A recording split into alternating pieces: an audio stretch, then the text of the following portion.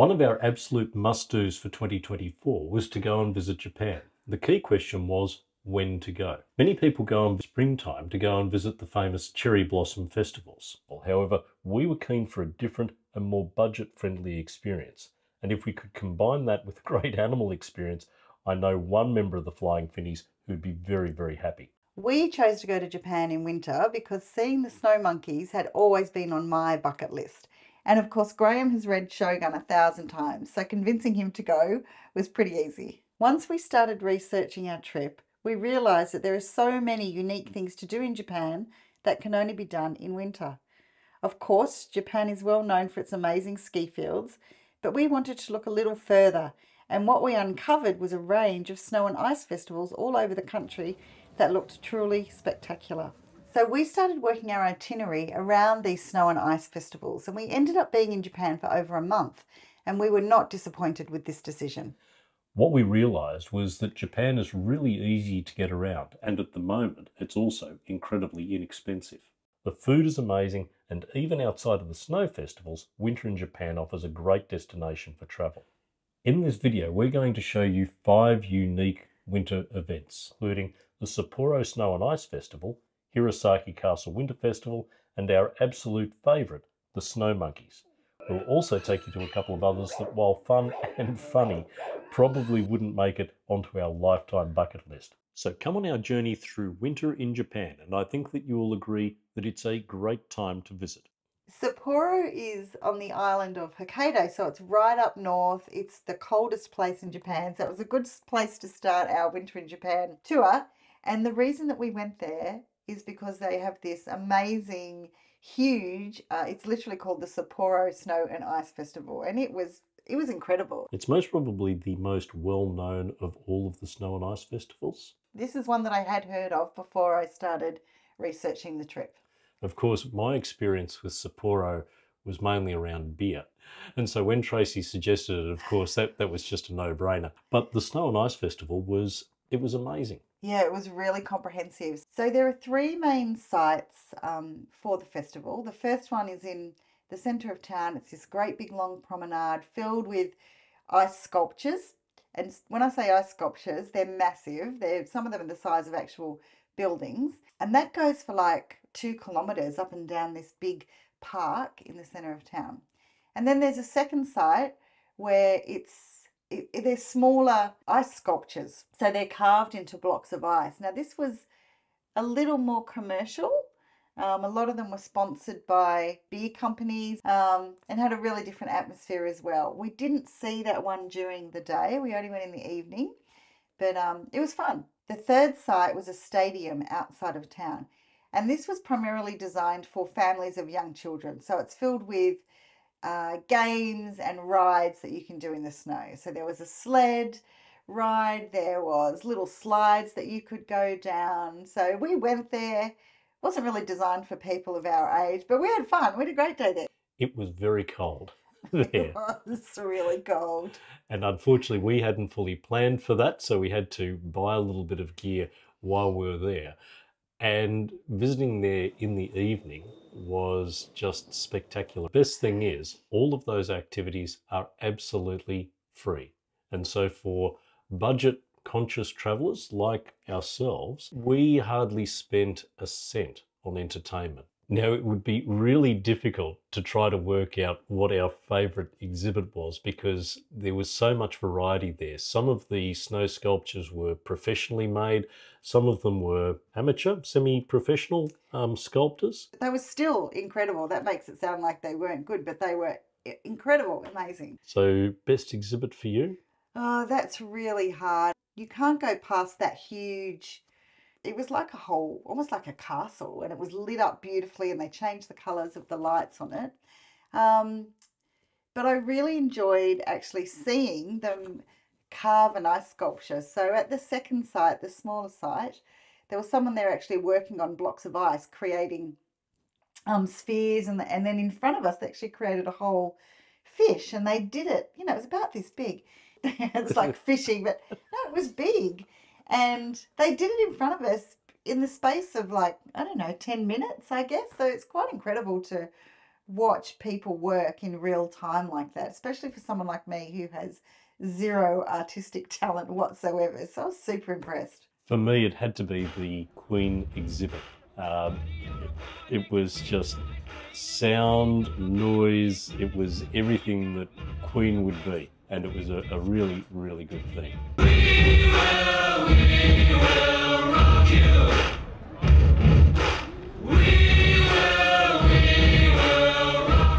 Some of the other great things to do in Sapporo include, of course, the Beer Museum. Sapporo is really well known for brewing high quality beer. We spent around about two or three hours going through the museum. It included a little bit of a tasting at the end, and it was magical. It was a beautiful factory surrounded by snow. Um, what a great place to drink beer. Embarrassingly, it was actually our first stop, I think, while we were there. The other great thing about Sapporo, of course, is the food. Just off to the side of the ice sculptures was an area called Ramen Alley. Mm. Very, very popular. A whole range of little tucked away restaurants with huge waiting lines. Um, but we were able to get into a lovely little restaurant and enjoyed some beautiful ramen. Really different ramen, too. I think it was like a corn um, miso ramen. But again, great atmosphere, great food. Another benefit of being up in that part of the country. We didn't really have to spend a lot of money on any of the activities at all. One thing that we did spend some money on was going up into the Sapporo Tower, which provided a great vantage point where we could see all of the main snow sculptures sitting down below us. We caught the lift up and then we actually walked down. Now that was cold, walking down there at night. We went up at night, but that was really the only thing we spent money on while we were in Sapporo, other than food and beer. Traveling to Sapporo was relatively easy. We took a flight from Tokyo, from Haneda, and flew directly into Sapporo. And you landed a fantastic accommodation. It's not usual for me to book accommodation super early. I'm a last minute planner by nature, but because I knew we were going for this festival, I was concerned that it might be hard to get accommodation. So I found something really good value. I think it was about 50 Australian dollars a night, which for Japan is really inexpensive. And it was really conveniently located. We could get public transport into the main part of town really easily. It was really warm. And by Japanese standards, it was actually quite large. Very large. So, overall Sapporo experience? Highly recommended. I know I do that a lot, but um, I loved it. I thought it was great. Another great place that I think turned out to be my favourite overall was Hirosaki Castle. Now, we travelled from Sapporo to a city called Aomori. So we stayed outside of Hirosaki because, to be quite honest, at this time of year, Hirosaki Castle and accommodation there was extremely expensive. And you could get to Hirosaki in less than an hour. So it was really convenient and it, it was quite a nice place to stay actually. It was a nice little town. So getting to Hirosaki Castle, uh, we could take the train directly into the city itself, and getting to the castle was a very, very short walk, around about 30 minutes or so. We went past lots of moats before we actually even got inside the castle grounds, so that kind of set up the atmosphere really nicely. Whilst Hirosaki Castle is good by day, by night it is absolutely amazing. So there are things to do during the day, but really all of the action occurs after dark. The main focus of the Hirosaki Castle Festival is a whole field down by the river of kamakura. Now, kamakura are little igloos which are lit up from within. So after dusk, they light up these igloos, and you just have this amazing field of all these lit up igloos. They're just, it was just beautiful. I was totally blown away by that. Most probably the highlight for me, though, was as we were heading down to these Kamakura, was a massive snow flurry that came in over the top of Hirosaki Castle. Now, the castle itself is a 1600s fortified castle with moats around it and guard towers, beautiful red bridges that span through amazing gardens. But then to have these snow flurries coming down over the top of the castle itself was absolutely magical. It was. It was such good timing. And I mean, you can't time these things, but we're just so fortunate to be there when that happened. Really, really, really special. Now, Hirosaki Castle is one of those things that you can do as a day trip or really a half a day trip. The limitation, of course, is that it's only held over a very, very short period of time each year. Yeah, it's just usually one weekend. So you have to obviously plan your trip if you want to go there um, at the right time of year. Definitely worth it though. It's much smaller than the Sapporo Snow and Ice Festival, much smaller. So you can literally do it in less than half a day. So my recommendation if you do go would be to go closer to dusk. So see it during the day, but you don't you don't need to be there for a long time. You can probably get by, you know, an hour before dusk really to see it and wait for those lights to come on, which makes it really special. Now they do set up a couple of stands where you can get a bite to eat. We had some beautiful Japanese strawberry donuts. And also, whilst not as large as Sapporo, there are a couple of snow sculptures there as well. So, again, Hirosaki Castle, my favourite. It was really beautiful um, and definitely worth going. Um, but just smaller than Sapporo. So I guess it depends what you want to do. I mean, we were happy to do them both, obviously. Um, but if you had to choose one over the other, there's definitely more to do in Sapporo. So we've talked about my favourite activity at Hirosaki Castle, but without a shadow of a doubt, Tracey's favourite would have to be the snow monkeys. Absolutely. No doubt about that whatsoever. It was on my bucket list and it did not disappoint. I had the most amazing day there. I absolutely loved it. Now, we made the decision to stay in nearby Nagano. Nagano was known for hosting the Winter Olympics a number of years ago. It's a beautiful, beautiful place, but it is a little bit of a journey to get from Nagano to the Snow Monkey Fields. There's a number of options or ways to get there. You do have the choice to stay in the town near the Snow Monkey Park, and it's a beautiful little onsen town. It's filled with hot springs and beautiful little, you know, family run onsens. And that was really appealing. And I was really tempted to book there, but it was prohibitively expensive for us. So that's why we booked in Nagano. And I wasn't disappointed again in that decision. The accommodation Nagano was literally a quarter of the price of the accommodation in the town close to the monkey park. So very good for our budget. And Nagano actually was a really beautiful town. We really loved being there. So getting to the Snow Monkey Park, there are a couple of options. You can either take an express bus or as we did, you can take a train. I wanted to be there as soon as the Snow Monkey Park opened and the express bus left a bit later in the day, so it didn't get you there as it opened. Um, it was worth it. You get to see the local um, area when you're doing that. So it gave us a little bit of a different experience to get there. And then, of course, there is a little bit of a walk to get into the Snow Monkey area. More than a little. It's about a 30 to 40 minute walk, and it's, I'd call it a hike because you've got to walk through the,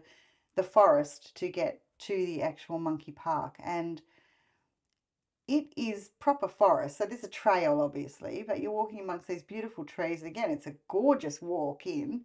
Um, but be prepared. There was not a lot of snow this year. It was a pretty low um, snow year. So we didn't really need our crampons or proper boots, but it was really wet and muddy. Still needed to have um, good, solid walking shoes on to get in. Did the lack of snow lessen the impact of seeing the monkeys?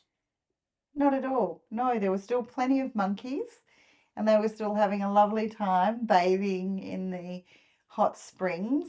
No, it didn't at all lessen the experience for me. I'm sure it would have been a bit more aesthetic, you know, it would have been it would have been more visually appealing if there was more snow uh, on the ground and around the actual pool that they swim in, but not at all. The focus for me is just being there with the monkeys, watching them do their, you know, watching them just live their lives as monkeys do. It was it was incredible. I loved it. You can tell by the smile on my face, I'm sure. Now, there were a couple of monkeys in particular that you enjoyed. There were a couple of babies that were cuddling Oh, together and also a grandmother. I think it was the grandmother. So there were two little baby monkeys that were snuggling in to keep each other warm, sitting by the edge of the pool.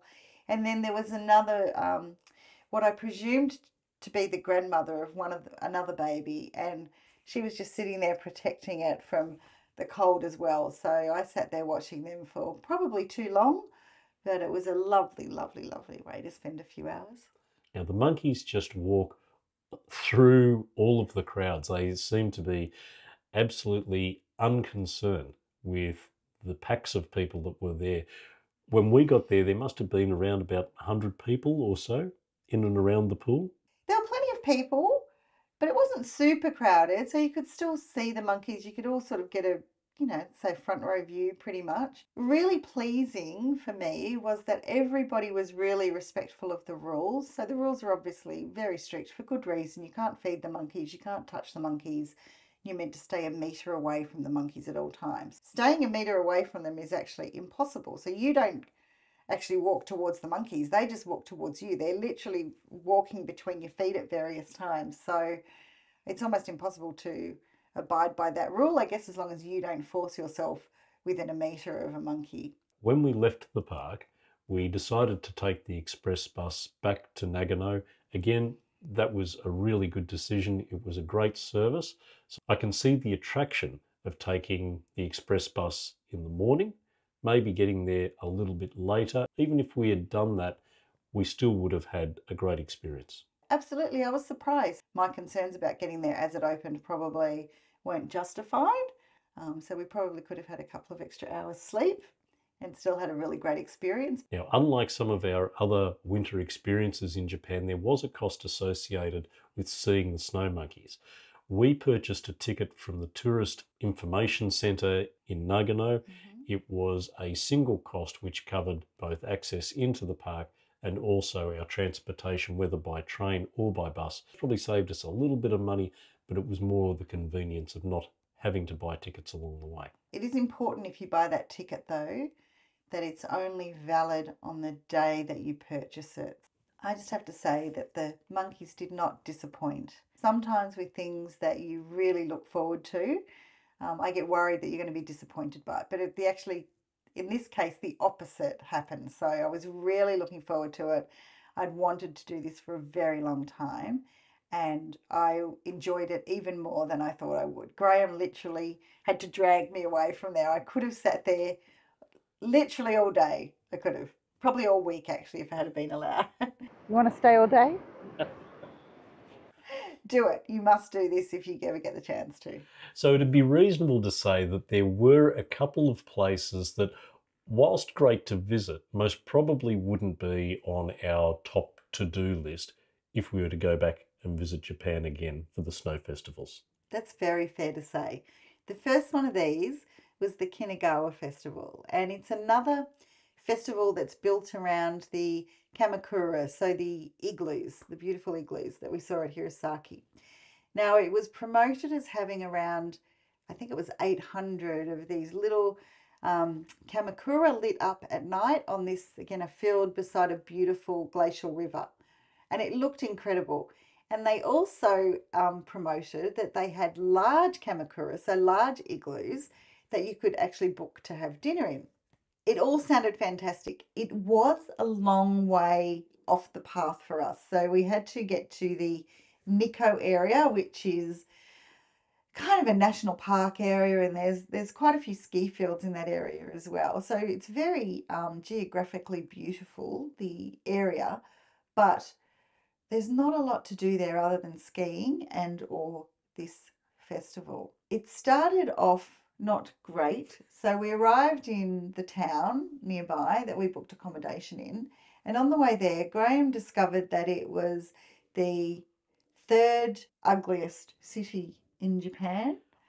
It's probably a little bit unfair to describe it like that. There were a whole lot of great things to do in Nikko. There was a beautiful steam engine ride that you could do if you wanted to.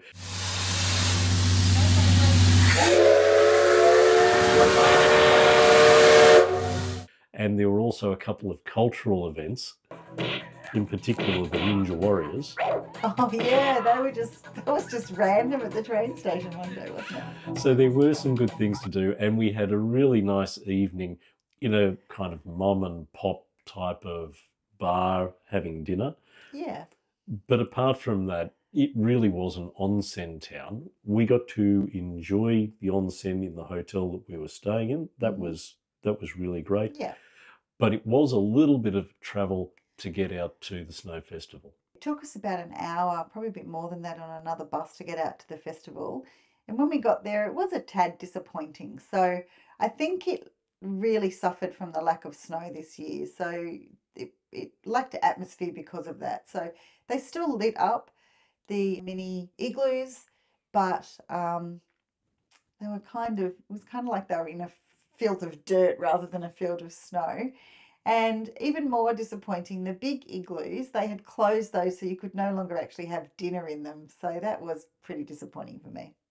Now we were able to have a really nice walk around the area. There's beautiful bridge, um, and just walking around the snowfields and the the river cutting through the middle of the town was fantastic.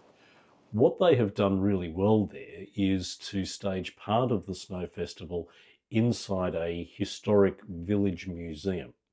And when it was lit up at night, and there were quite a few people having a look through, it did look quite magical. But would we recommend doing it? Probably not. It was a long way to go for a small festival, and maybe we'd just been spoilt because we had been to Hirosaki as well and seen the beautiful igloos there. So maybe that also meant we were a little disappointed in this one. So Another festival that most probably wouldn't be on our bucket list again either was Morioka. Now, one of the great things about being slow travelers is the ability to be able to change your itinerary. And in this instance, we were literally walking through a train station, saw some great posters for the Morioka Ice Festival.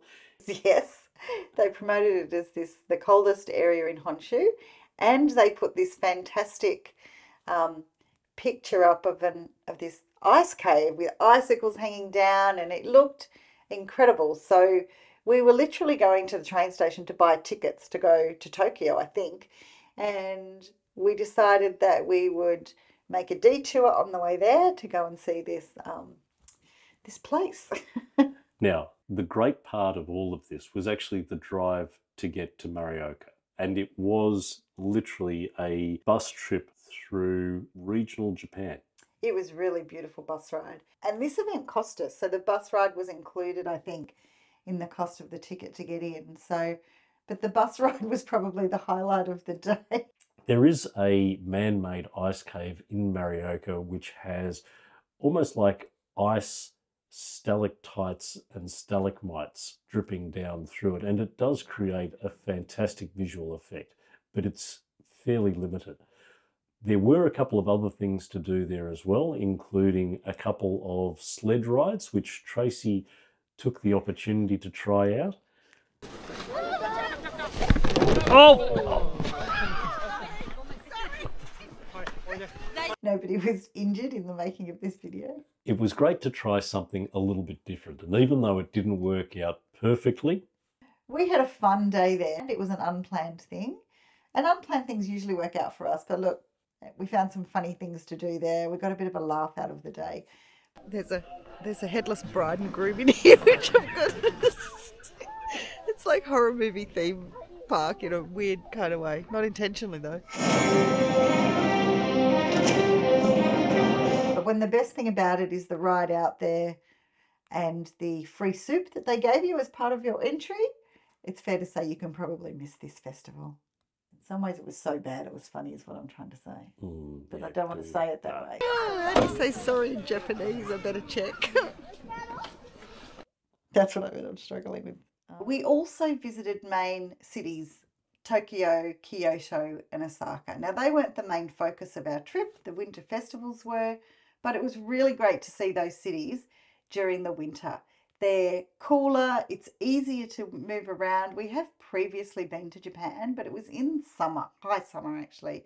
So it was very hot and humid in that um, southern part of Japan. So this was a much more pleasant time of year to actually experience those big cities. One of the standouts for me was Osaka. We had previously visited Osaka.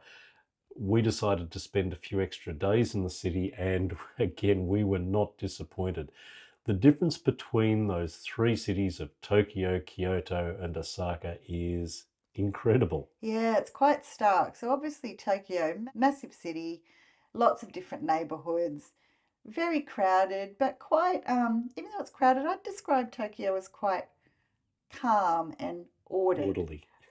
Osaka is the opposite. Again, it's a big city, um, but not calm and not orderly. It's full of activity, it's full of life. The people are more gregarious, more outgoing, I think, and we had an absolute ball there. And all of that counterbalanced by the cultural centre of Kyoto and a day spent walking the Philosopher's Trail, which was just brilliant. Yeah, that was a real highlight as well. Kyoto is beautiful, the architecture and the history, and that walk down the path. I said to Graham when we were doing that, I could do this every day happily here. Now let's have a chat about cherry blossoms. We're a little bit excited because even though we're not here officially in cherry blossom season, the first buds are starting to emerge.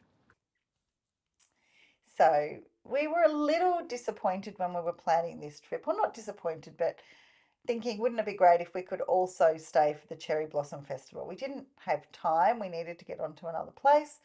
Um, but as it turned out, our timing was actually really good. So we, because we were there for the whole month of February and just the very start of March, um, we actually got to see the cherry blossoms just budding and just starting to come into bloom. So, again, we were really fortunate, and that may not always work out that way, but maybe the less snow meant a slightly warmer winter, which meant the cherry blossoms bloomed a little earlier than expected. So, we did get to see cherry blossoms, not in full bloom, but I feel like we've had that experience. And again, we had that experience without the crowds that you have during um, you know, sort of late March and April when they're really full on blooming.